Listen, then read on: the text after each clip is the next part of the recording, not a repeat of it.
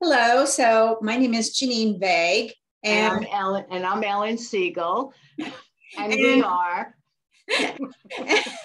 and we are psychotherapists in the Columbus, Ohio area. And today we are going to be hitting the topic of post traumatic stress disorder, which is something that I specialize in, utilizing the uh, training I took in cognitive processing therapy.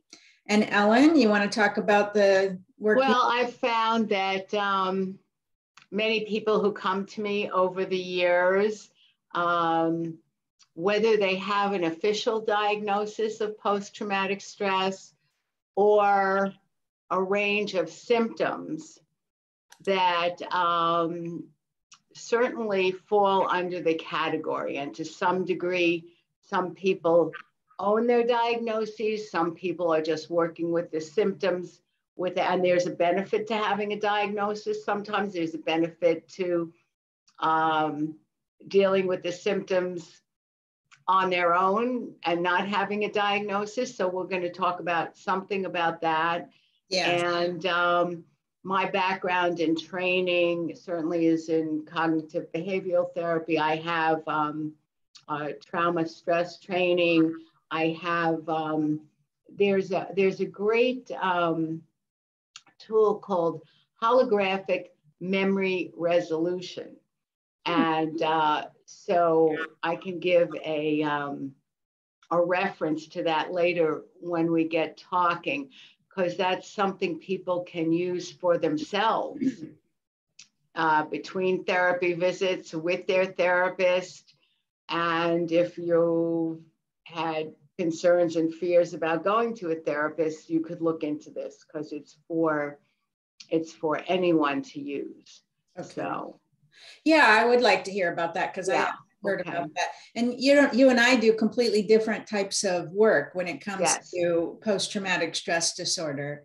Um, and it would, I think it would be interesting for you to say a little bit about the heart-centered psychotherapy, uh, heart-centered oh, hypnotherapy. Heart-centered hypnotherapy. That's another uh, background and training that I have. Yeah. That that one of the goals of it, and the goals of your kinds of uh, treatments are too, to get to the heart or the root of um,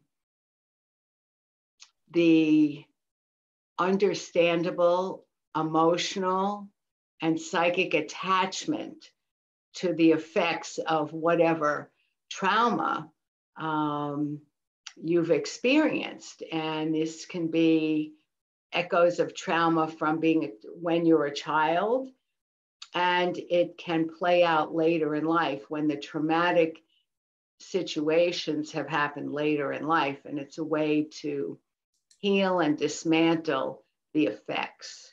Okay. All right. Well, so I'd like to start out with a quote from uh, Dr. Bessel, Dr. Bessel van der Kolk, um, someone who I met many, many years ago at Johns Hopkins at a somatic conference. And um, he writes a book called The Body Keeps the Score, which is a book for people who want to understand a little bit more about PTSD and how it does affect our body. And so the quote that he has is For every soldier who serves in a war zone abroad, there are 10 children who are endangered in their own house. So I just wanted to start with that because most people, well, for many years, people thought, oh, only military people get PTSD. And um, it's only been maybe in the past few decades, maybe less than that, I'm, I'm not even really sure, when we began to realize no, this is something that also affects um, children who've been abused. And, um, and so just to, uh, and, and speaking of abuse, um, when you're talking about post-traumatic stress disorder, the very first thing that has to happen is there has to be a life-threatening situation that either you are a victim of or you have witnessed in some way. And it can also be for someone who is working in social services or working in um, as a, a paramedic uh, a doctor, somebody who's working in the field with trauma, and um, that could be something that they also could experience post traumatic stress disorder. Right. And this also means car accidents. Yes. It means whether you were at risk of death or believed you were at risk of death. Exactly. And also children in situations where for them, they experience their life is at risk, even witnessing parents abuse each other and the child uh, integrates that they are in a life threatening situation. Mm-hmm. if they um, act a certain way or you know witnessing things um, like exactly. Exactly. And um, and then of course sexual violence is also um, a way that people could get post-traumatic stress disorder mm-hmm. as well. You may not necessarily think you're going to die but you feel trapped in the situation you feel as if you can't you have no power uh, in the situation that you are forced into something and i think that last part um, broadens the the definition because mm-hmm. uh, a lot of people are walking around thinking they have PTSD. And, you know, if you think it and, and you feel endangered, well, then you can use some of the tools to undo it. I have a definition okay. from the National Institute of Mental Health. Um, it's more general, but Post traumatic stress disorder is a disorder that develops in some people who have experienced a shocking, scary, or dangerous event. So here they're not even calling it life threatening. It's natural to feel afraid during and after a traumatic situation.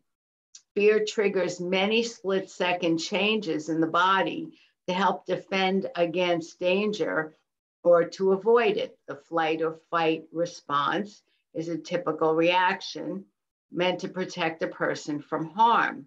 Nearly everyone will experience a range of reactions after trauma, yet most people recover from initial symptoms naturally.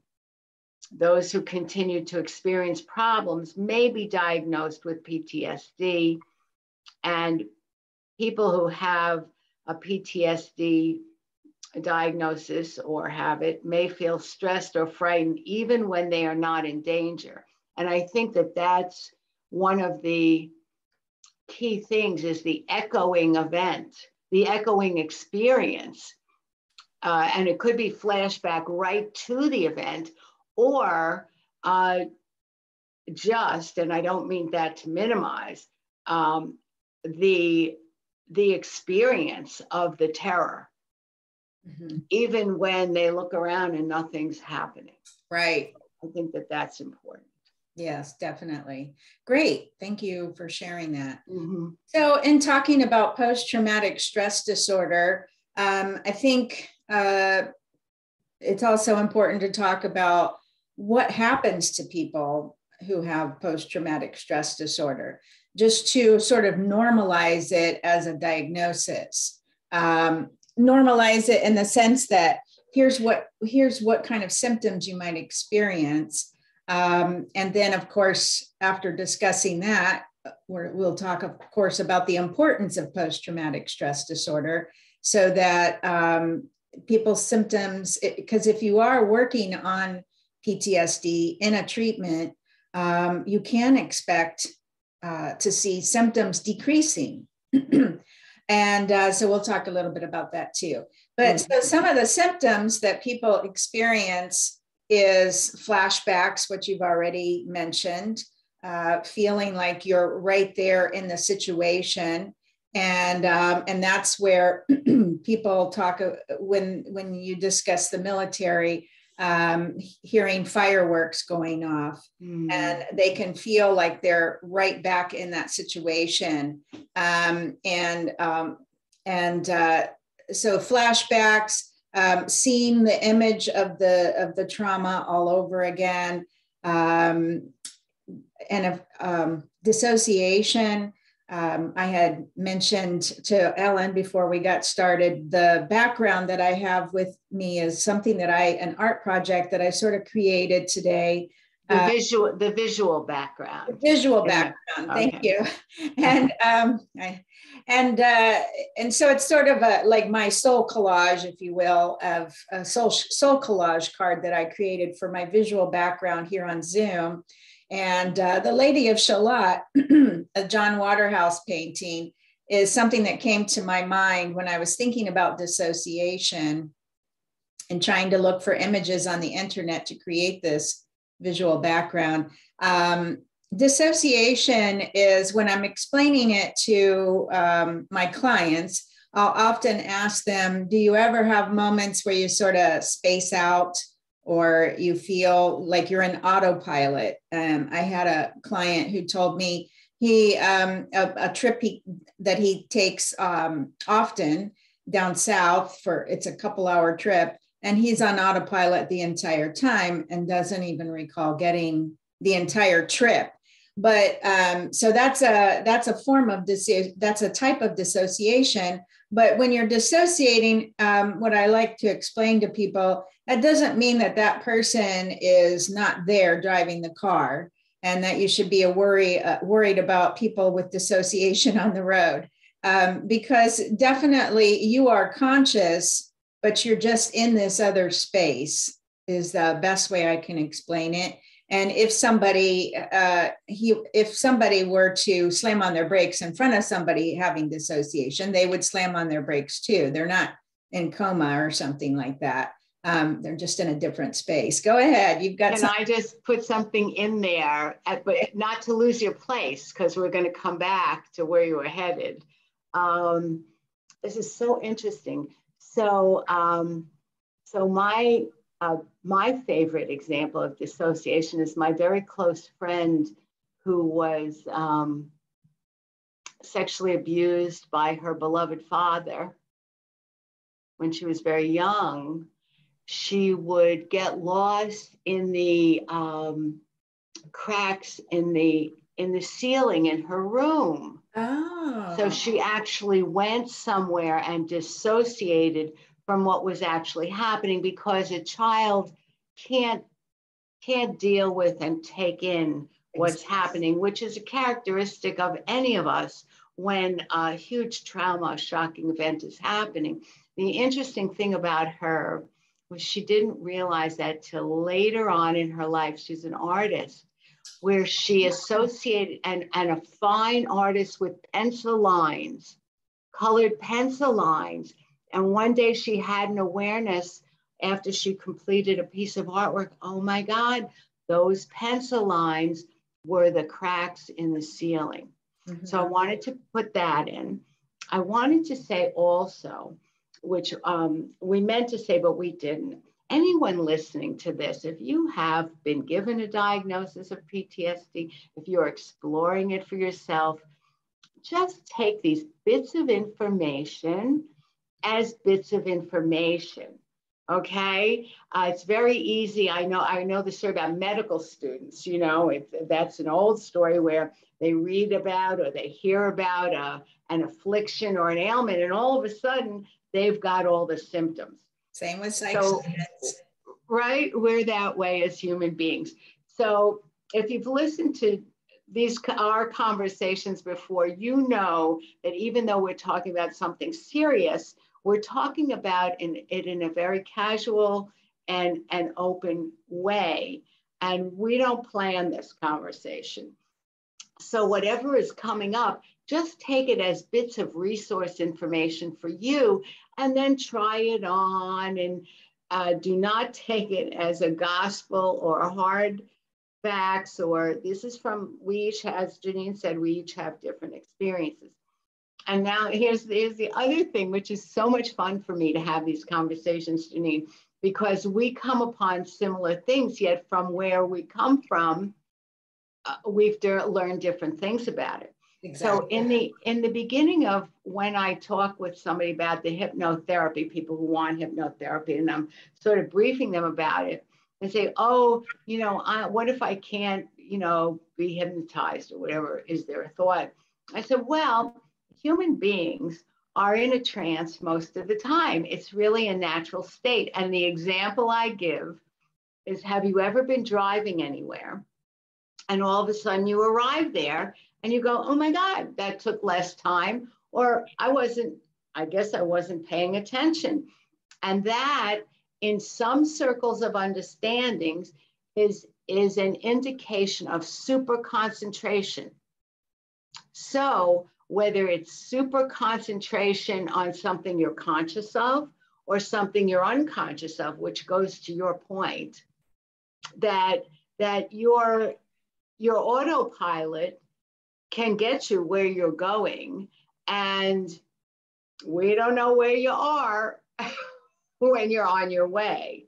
So um, humans do go into that kind of um, state you know um, and and, and a lot of times what i mention to clients might be an interesting thing for them to do as an adjunct to therapy with me is um, coming to see you um, when they're blocking something mm. and so so that's something that happens with post trauma uh, especially with children um, at such a young age they don't want to remember certain things so I mean, they will maybe say to themselves as five years old, I'm never going to remember this ever again. I won't right. allow myself to, I'm never going to come here ever again.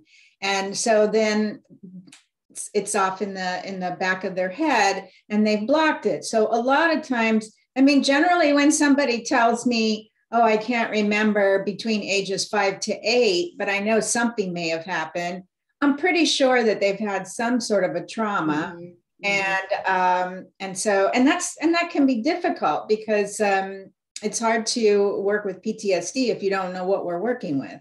Um, so, but go ahead. You, so ju- you just brought up another important point um, for any of us that, and you have experienced it, you've shared, and I have experienced, I've shared with you, that we've had the intention to overcome certain things, yet we can't seem to get at it. And that's because early in life, we drew a conclusion. Yes. Which, like I am, or chose a behavior, even in a little child's mind, I am never going to either let this happen again or mm-hmm. I'm never going to think about this. And mm-hmm. it can even happen pre verbally. Yeah. Because some of us have been um, mistreated when we were very, very young. Oh, yeah. So, mm-hmm. but we both know people who mm-hmm. have made full recoveries. Yes. And so do not give up on yourself. Yes. You know, stick with it. And that's, yeah, that's very important. Um, somebody was telling me the other day that um, a psychiatrist had asked him, Do you think you're um, you're going to live with PTSD the rest of your life. Well, my answer to that is if you don't do treatment, yes, you're going to live with PTSD the rest of your life. But why would you want to do that? Um, why would you want to live with the the trauma, the the symptoms the rest of your life? We're not going to make it go away. We're not going to make it disappear. It's going to be there but uh, for me, when you're doing CPT work, the beliefs that you have about the trauma, that's what we're working on.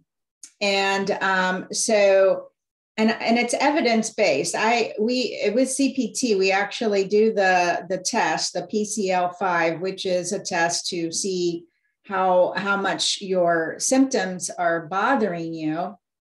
We do that every single week, and I see scores going down consistently. And I also track those scores, not just on their personal sheets, but I also make a major, um, uh, a main spreadsheet where I collect the data from all of my clients and put them on there so that mm. then now I can show them to other clients because obviously I don't put names on there um, and I can show them here are the different years that oh, that's I, so great, Jeannine. Yeah, and from and then I do it from session one to twelve uh, because it's a twelve session treatment model, and so I've collected all my clients' data and I can show to people, look, Here's the highest scores. Here's the scores at the 12th session so that they can see. And that's a visual for them. And it really is very convincing when they are able to see that evidence in front of their eyes. Um, so, um, will you have PTSD the rest of your life? How do you want to answer that, Ellen? Oh, well, first of all, you know, you know me, I'm a big um, proponent of the the contribution of your attitude and focus. So, you know, to the best is to recognize, like what Jeannine is saying, that there's actual proof that uh, people recover and that treatment is effective. And so, you know, and you always want to interview different therapists see who resonates with you. And I'm a big fan of listen to yourself, your inner self, if you can get at that or a gut feeling or this, and really pay attention, you know, that if you don't feel comfortable, uh, now you might not feel comfortable at all, and that might be because of the PTSD. Exactly. So you want to be sensible about that too, uh, because you still are the observer of what's happening. Okay. There's a part of you that's observing and selecting a therapist, selecting a treatment, just like, you know, uh, so listen, some people who are so um, encumbered, you know, can't make a selection. So you do the best you can and you keep finding your way and yeah. you don't give up. And then, you know, I would say if you feel you have PTSD, then get treatment. You know, look into, and if you're afraid, then look into, um, read books on it, prep yourself, uh, enable yourself to get help. Um, and then absolutely um, count count on recovery and just keep going at it. Yeah. And it and it takes a while to dismantle because like what you're saying about dismantling the beliefs and that you know, that was then and this is now. And that was horrible. It really was horrible. Mm-hmm. You know, and that, you know, for some people, there's a little bit of, you know, I'm plagued with this. I don't deserve, you know, um, I can say, um, you know, if you lost your family in a house fire and you're the only one that survived, you know, then you've got to deal with possibly feeling guilt that you survived and they didn't. I mean, there's all different elements, right? Exactly. Yeah. So, you know, if you uh, uh, are dealing with post traumatic stress disorder, it is important to get into treatment.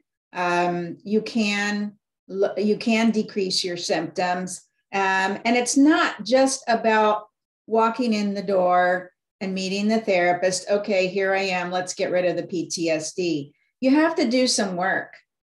Um, you've got to follow up on in my in my case with CPT, you have to follow up with the homework assignments that you're being given. Mm-hmm. You've got to do work at home as well mm-hmm. as in the uh, mm-hmm. session mm-hmm. um, because it's happening outside of the session. We're in there talking about it but when you're going home, you're having those flashbacks, you're having those nightmares, you're having the um, the dissociation when you're in conflict, because um, that's often where it comes from. I mean, that's when you often will see mm-hmm. dissociation. Um, that's that's one of the the obvious ones.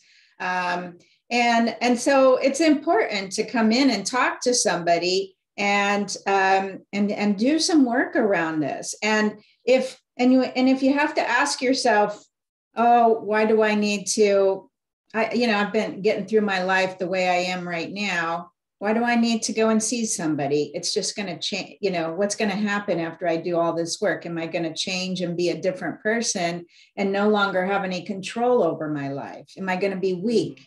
Am i going to be um, too too much sympathy? That's what a lot that's what i've heard a lot of mm-hmm. women who've been sexual abuse survivors mm um, they will say that because they've gotten used to controlling things in a certain way with their obsessive behaviors, with their um, their um, ability to perceive that they are controlling situations in their own mind.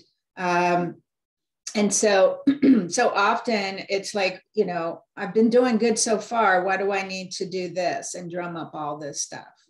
I think uh, there's, a, there's a great point about that is uh, often um, we people don't perceive that that that's a step in a process that that that development of control um, is a stepping stone. That's like a phase in the development toward toward a kind of freedom that um, that person is entitled to, as any person is, um, to have full access of their creativity without being attached to control. You don't lose being in charge. In fact, in the treatment, you you discover that you really are in charge without having to um, be um, forceful in retaining that control um, and without the fear that you're going to lose it. You know, and then you deal with things like, you know, there's unconscious things that you get to deal with in this treatment, like that you might not even be aware of, that on some, even some little level, you might have felt responsible for the for the trauma or deserving of it. And and those things don't necessarily have to be related to reality because we all grew up from being children. And when we're children we we connect the dots of things that we see. And quite frankly a child cannot connect dots correctly. I mean you know, and my favorite one is um, like when when we witness anger and violence together. And those are really two separate things, but very often when we witness or are the victim of, of violence, there can be some anger dished to us. And so in a child's mind, those things are together. Mm-hmm. So as an adult, a person is afraid to deal with their anger because it's associated with violence. Mm-hmm. And they have made very often um, a decree inside themselves I'm never going to be like that. Well, yeah. but that's been associated with anger. So we separate the anger and the violence. Anger is a feeling that really needs to be experienced, yeah. and violence is never acceptable. No. Never. No. So, and when they're mixed up together, it is you. It's. I'm going to say I think it's practically impossible to get through it unless you break these things apart. So, as adults, we can erase the lines between the dots that we associated together just in our outlook of life that then positions us to really be boomeranged by things later on in life. Yeah. So that's like some of the work yeah. that you get to do. And you can use, uh, you can deal with your anger um, through art, through writing. Um, I think writing is the best way. I was uh, on a group, uh, Facebook group the other day, and somebody was using, um, they were talking about a piece of Jim Morrison's writing Mm. that was very fragrant um, and very misogynist. And um, but the way I was talking, uh, what I was mentioning in that particular post is I was saying that as a writer, um, it's not enough to just say, I'm having a bad day, or I feel sad because he broke up with me. When you're writing and you want to express yourself, um, you're going to use very fragrant terms, very mm-hmm. emotional terms that that doesn't mean that you did that. It doesn't mean that, I mean, uh, I think Jim Morrison talks about in one song killing somebody. Um, he didn't kill anybody as far as we know. Um, but but the but the but lashing out in anger in in his lyrics about what he's talking about his frustration with his parents or what have you um, that's a very wasn't healthy for him to be an alcoholic, obviously, but it was healthy for him to sing it out in those lyrics and in his poetry. Um, uh, so that's one way. In the Frida Kahlo painting that I have behind me, uh, a picture of her uh, with the swords, um, I mean, not swords, the arrows inside the deer's body reflected her pain and her anger of being 17 years old and being in a bus accident in Mexico that destroyed her life. She was never able to carry a child to term. So she had tons and tons of anger. Her husband was Diego Rivera, was of course a womanizer. Um, so, I mean, her paintings portray that anger in a very, and it's lots of violence in her paintings, but it's very healthy that she did it in the painting and not to her husband or to somebody on the street or what have you. Um, do you see what you know you know that's yes. what i'm trying to get yes and if you and if you get to choose to speak to a therapist i mean you can even say that listen are you going to be able to stand my expressions of anger? Yeah I mean, yeah. I mean you know we sit there and we can handle it. Yeah. Uh, we are I mean, scream it out, let it out, jump it out, because it's just a natural response yeah. to something that's happening, whether, and it could be tears and sadness, mm-hmm. um, hurt, you know, any, any, um, you could have shame. Uh, I had a teacher, um, June Graham, she used to say, birds are meant to fly, fish are meant to swim, and people are meant to feel. And any feelings that we have pushed down because that's the best way we were able to deal with it at the time and since until we have something better mm-hmm. um, uh, could be viewed as like when you're when you're pushing away um, let me think of um, mm, when you're pushing away the feeling of powerlessness, because that's how you felt. So I'm never going back there. I never want to have that again. But when you push a, the feeling of powerless away, the flip side of it is a healthy, powerful, which is being having jurisdiction over yourself. So when you're put, it's like two sides of a coin, and when you're pushing the side, one side away that you dislike, you're actually pushing the whole coin away. Mm-hmm. So you can't really get at feeling powerful while you're also pushing away powerlessness.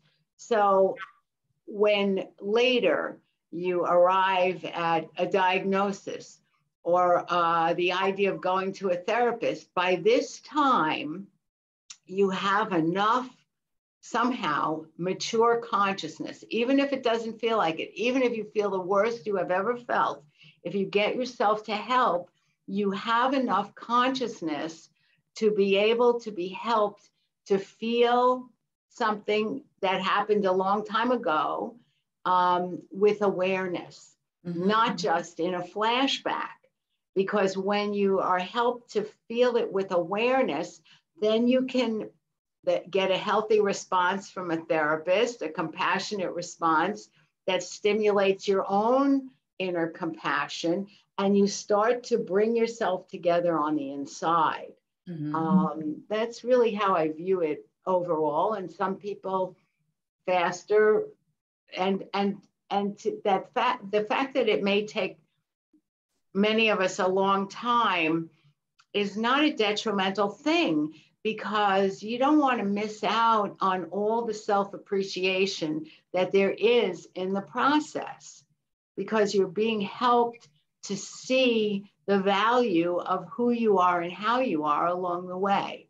Mm-hmm. So you know, that's a little insight that I could give on being on the inside of the process, having been on the inside of the process. Yes, absolutely. The same here. Yes. And and so it's our job as a therapist to hold you, to hold that container in that in our in our room which we've created as a sacred space for the people coming into our room it's important for us to build trust with the client before we begin to delve into the PTSD work. I mean, we don't you don't just walk in the door and we say, "Okay, let's get started." Um, and uh, and so you, you need to get to know your therapist, and you need to make sure trust your gut feeling. Does it seem like this therapist is is uh, going to work for me? Does it seem like she gets me? Um, and, or he, or, or he, he sorry, or he, and uh, and and and you want to make sure you feel safe in that room, that you feel comfortable in that room. And uh, and speaking of what you were talking about, sharing your anger or your sadness, um, people every time somebody starts crying in my office, they're like, "I'm sorry, I'm sorry," because right. like you're not outside, you're not with your best friends, you're with a therapist, and so I tell people this happens every day in my office. It's okay if you're crying, that means I must have done something right because I helped you to bring something out of you. I mean, uh, I can't use the Barbara Walters analogy anymore because hardly anybody knows who I'm talking about. But, you know, she did used to have people cry. That was the big thing. Her interviews would cause somebody to cry about something. Um, but I love it when people cry in my office. And I've certainly had people yelling in my office before. Um, one time, so much so that the downstairs uh, business people came up and knocked on the door. And I just said, I'm okay, we're okay. Um, and then they walked away. But I tell people, um, you're not yelling at me. I mean, if they start cursing and saying she's a bitch or whatever, you're not cursing at me. I'm not taking it personal. I'm just listening and I'm just helping you to express yourself in the best way that you can um, because that's just so important. Letting people talk, letting them get it out of their chest, um, p- pulling that, talking about that monster that they are that's visiting visiting them at nighttime, um, and um, and bringing that awareness alive in that uh, room. Uh, the, the other thing is, um, I noticed in uh, the um, Institute of Mental Health uh, definition went on and it had some symptoms. And it talked about nightmares. And a lot of people have nightmares. Um, and it may sound far fetched, but you can um, get bigger than your nightmares where you're having them, but you're not them. And, um, you know, I think for the longest time, uh, not that I still would care for horror movies or scary things. Um, I just um, couldn't face, um, I don't know, terrible nightmares yeah. and uh, help to become bigger than them. That, yeah, it's like going to a bad movie or a mm-hmm. movie you don't like. And yeah, you might see yourself in it, or you might not see yourself in it. And, um, but there's a lot of things to do with dreams that uh, can be very interesting. Yes. And I, I just wanted to add to the dream uh, conversation that you brought up is that a lot of times what happens with PTSD survivors is that they are there's a theme of that dream that that keeps revisiting them over and over and over and over again. And um, and and what i often will tell military people or sexual abuse survivors well any ptsd client actually i'll say to them the difference between a military ptsd and a um, civilian ptsd is it's a different monster that tra- chases you at nighttime Mm. But the other thing is that um, for the military, it just happened a year ago, 16 years ago. but it's it, it happened as an adult in your consciousness, which is different than a five year old or an eight year old having trauma happen to them. A lot different because um, what I realized the very first time I started working with the military is that they can talk about the the the, the smell, the taste. They remember the environment that they were in very, very vividly. Um, they all their sentence senses are heightened so much more so than a child who vaguely remembers the room um, because they were five years old and a lot's happened in the last 20 30 40 years um, so so that, that's the differences. The symptoms are the same. It's just how they experience those symptoms are a little different. And also the perspective. Um, their perspective is different in some ways. Um, and with the um, one of the ways the hypnotherapy um, can help the person who was a childhood survivor is they can go back to um, just the key aspects that need to be so unhooked, so to speak, and healing can be sent there. And um, I could say that can be done with adults too. And also, there's um, I had a situation where a client, uh, a grandmother, um,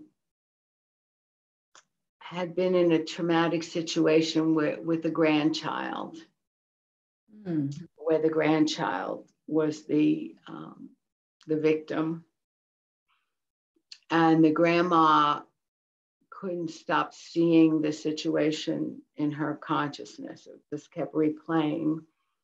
And one of the things that um, we got to do, and the grandchild was very, very young, was she was able to have conversations with the grandchild in her mind that were very healing, that were very healing, where mm-hmm. actually in her imagination, you could say.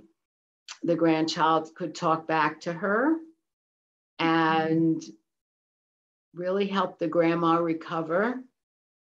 So that's a little different kind of uh, angle. Mm-hmm. And so um, it's a little gestaltish, you know, like where you sit somebody in, a, in an empty chair. Yes. And you have a conversation back and forth. And by the way, that is very effective. Um, I, that's worked with adults who have been carrying angst and anger toward parents who had already passed away, who were perpetrators in their life. And they were able to divest themselves of everything. I've witnessed this and actually been able to walk away from that particular episode of therapy, so to speak, without that, without all that. And, you know, each person, say again? Without holding on to that pain. Yes, yes.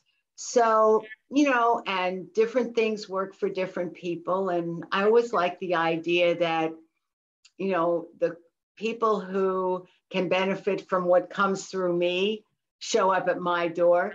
People who benefit from it, the way it comes through you, come through your door. Right. You know, and that's like, uh, yeah, there's no mistakes. And maybe it, it's even more than no mistakes.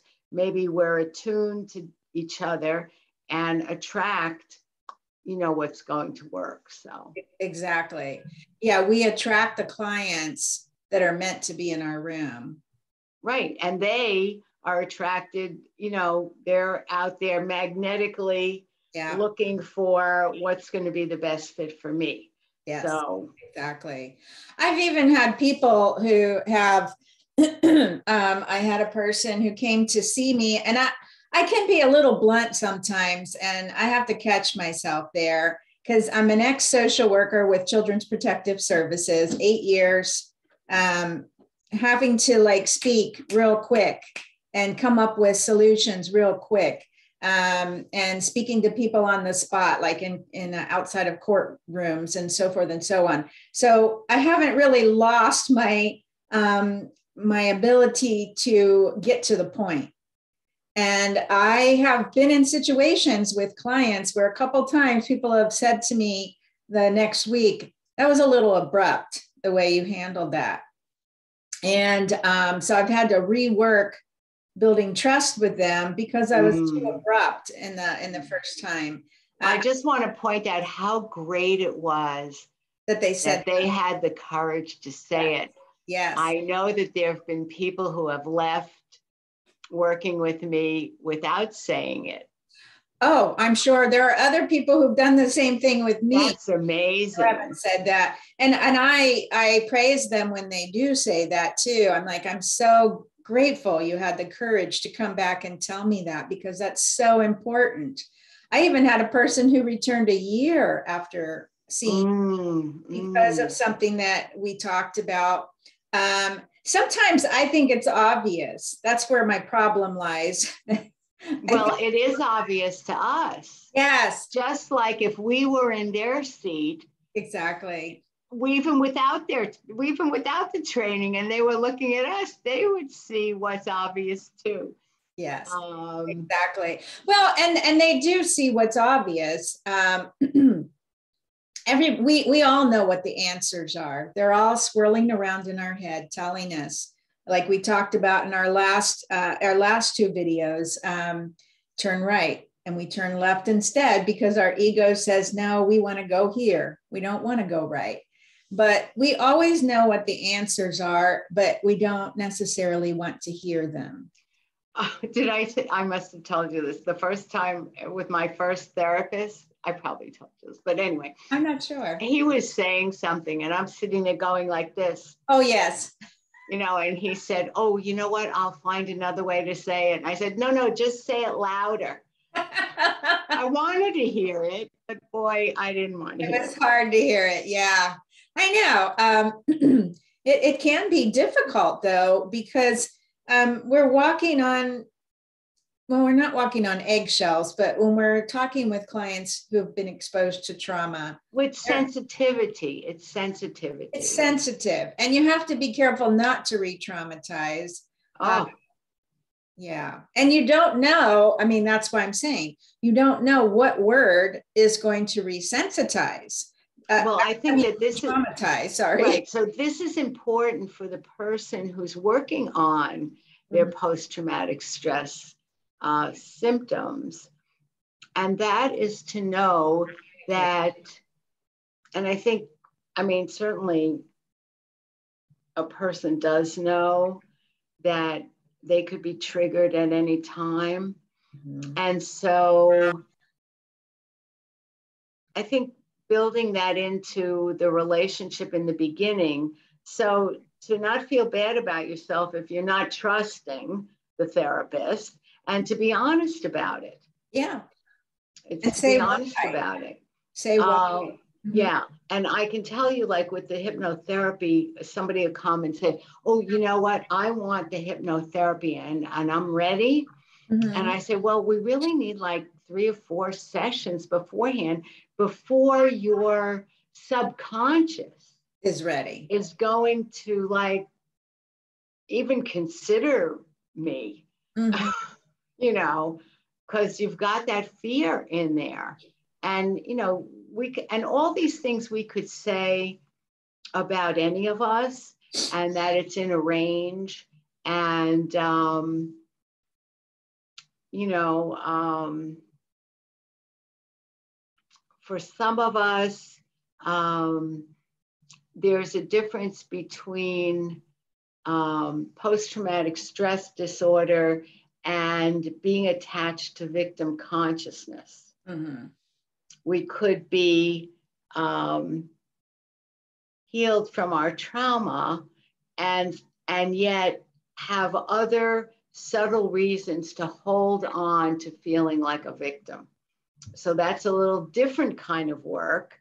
Um, so for those of you who are analyzing yourselves while you're listening to us, I can only encourage you to have the broadest view of yourself possible. And then and then you could come to a therapist and check it out. You know, I've been told I have PTSD because that's another thing. You could have relatives that label you and you could have a doctor that labels you and you mm-hmm. want to see where they're getting their their symptom list from and you still want to be as discerning a consumer of medical and mental health services as you can be. Yeah um, definitely yeah i'm always very suspicious when people come in with a diagnosis mm-hmm. uh, you know i'm i'm feeling them out like what who was this person what was the uh, situation you were in especially if somebody was in a psych hospital and they got a diagnosis, right, right. you tend to get uh, certain patterns from psychiatric hospitals. Mm-hmm. And, you know, so my way of explaining that is what was the frame of mind you were in when you walked in that door? Right, right. And that's how you were being labeled. Yes, that great point. Yeah, that's how you were being labeled from that that person that you were being but that person that you were being is not the person that you are right now in my office right so you know i like to discover with the person um, even if they have a ptsd di- diagnosis i don't just take that for granted before i and that's part of cpt work. We have to qualify them before we can get started working with them. Um, and so but anything bipolar whatever. And um, i want to see i want to see that person and i want to hear their symptoms um, and and then make a decision from that and sometimes i've actually sent people not for ptsd but for other things um, i had a a 60 60 year old woman uh, who came in and i sent her to a psychological evaluation mm-hmm. and turned out she had bipolar her, her entire life, she had no idea that she had this because the symptoms that she had for bipolar worked for she and her family. Right, right. Until it didn't work. I, well, that's the important point. What difference does it make if it's working? I mean, unless, you know, people are being hurt one way right. or another. Exactly. You know, working in a in an awful way. Yeah. Um, you know, or if it's part of a system that, you know, families have their own languages, different ways of caring for each other. Yeah. Um, but the key point is until it didn't work. And that is great. And so, uh, diagnoses in general um, are okay for a guidepost to get more information or uh, to tip off a trained healthcare professional on offering different types of treatment mm-hmm. with the client. And uh, otherwise, one thing to watch out for when you have a diagnosis is how attached am I to the diagnosis? Yes. Because that happens after a while, which makes it harder to be your natural free self and let go of it. Mm-hmm. Because it becomes part of you and i think that's what i mean that's also what i want what i was meaning earlier when people you know why should i deal with this i've been living with it my entire life right right you know um, but when you've got to walk into your job and say to them okay i have ptsd and here's what's going to happen don't come behind me don't surprise me don't tap me on the shoulder don't blah blah blah blah blah when you have to live your life like that that's somebody who needs to be in treatment. Don't yeah, let be, be your life. Right, right. Yeah. And that, and like we said earlier, there is life beyond this. Yes. And it's a process. Uh, when someone comes to me, like what you were saying, I'm listening for who the person is and what what healing responses do they need that they haven't had to um, to their judgment, their self judgment, possibly their their stuck thoughts about how they are, their limiting beliefs. Very often, um, uh, we haven't heard in our natural paths of life from other people, I don't know, um, promising ways of interpreting things. I mean, we've we've under, seen limiting ways of interpreting things. Um, and I don't know which training or where I heard this about in every moment, there's like, um, you could view it sort of in an expansive way or in a limiting way as an opportunity or as a, you know, a closed door.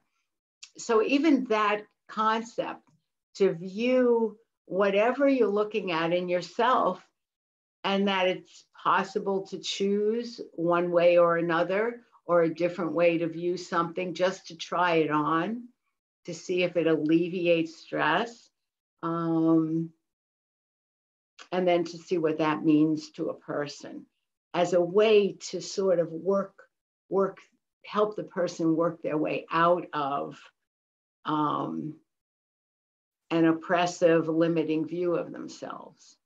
And because you deserve this. You deserve everyone everyone. Mm. we have creativity we have unique traits. And you know i know we often compare ourselves to other people but when we appreciate how unique we are even if we all have the same feelings similar thoughts they're all organized in a different way so that's the uniqueness so you know, we really do defy comparison. So we're being unfair to ourselves if we're um, viewing ourselves in a detrimental way because we're not something else. If we like a trait in someone else, and we let then look in ourselves and see if that's something we want to develop, or if somebody has a skill, and we may or may not have the interest, motivation, to learn to do that, even though we wish we could, we have other things that we'd rather do or want to apply ourselves to. I mean, I've come upon that in a number of ways in myself and have felt quite relieved when I let go of. And face the truth that I'm not willing to put the effort into something mm-hmm. that I would need to to be able to advance in that certain way or moving myself along and seeing what I would like to learn or could learn. And then sometimes I discover I'm satisfied with the outcome and it satisfies me more than I thought it would because I'm not taking it to the nth degree that someone else is taking it. Mm-hmm. It's like, you know, sort of have an open, more open mind about our abilities, possibilities, opportunities, and even feeling bad about things. Mm-hmm.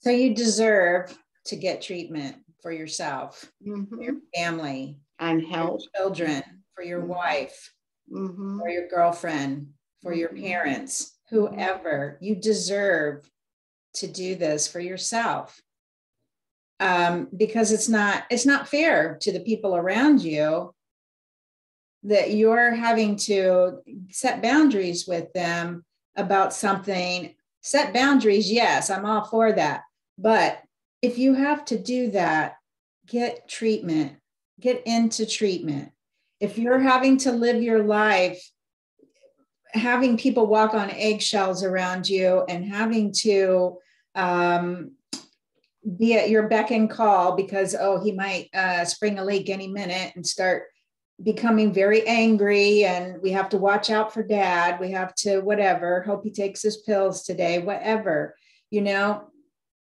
Don't do that. You deserve to be in treatment. You deserve to um, work through these symptoms and have a better quality life